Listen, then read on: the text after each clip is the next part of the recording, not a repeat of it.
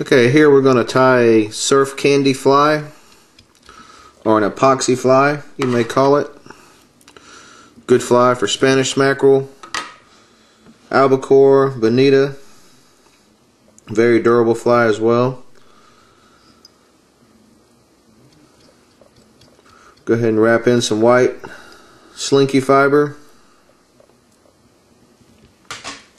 This is on a Mustad 3407 uh, number 2 hook. Come through here with some olive green slinky fiber. You can use whatever color you like for this particular fly. I'm going to put some olive green in. I do use a lot of blues, chartreuse, even some red at times. So attach that in.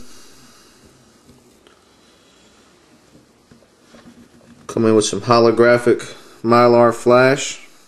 I like to put a pretty decent amount of this onto the fly. Let's go ahead and tie this in right on the top. Take a second to make sure everything is even.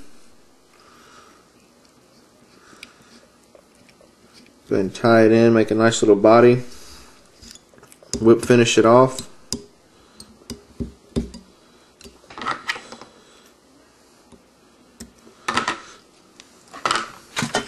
Now I'm using some Spirit River woven body tubing. This is the medium and the natural pearl color. I'm going to take this, cut it about an inch or so onto this particular hook, slide it on, come through, reattach your thread.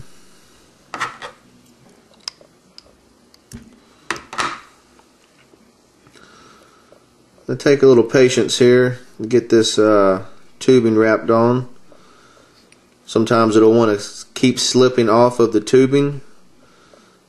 Get your little head built up here. Put some pressure on this thread. You grab that tubing really good. Alright we've got it good there. We'll go ahead and whip finish this off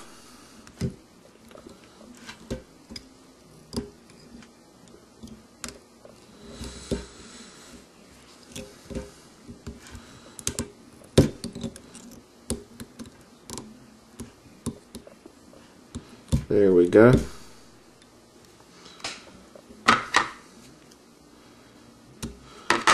That fly is almost done. We'll just trim it up a little bit. I like to leave mine a little long. I can always make it shorter in the field. And uh, now we're going to epoxy this fly. I'll mix some, mix up some epoxy. We'll be right back and uh, have this fly all done for you. Okay, we've got some five minute epoxy mixed up now. Let's go ahead and apply this on here.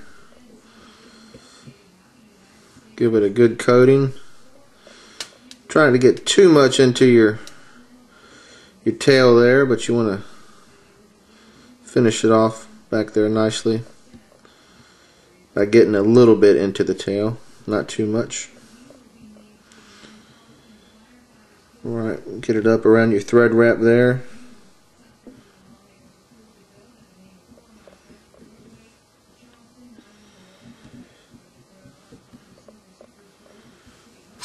a little more. Alright, you take this off and stick it in your turner and you're all done. Ready for some Spanish mackerel.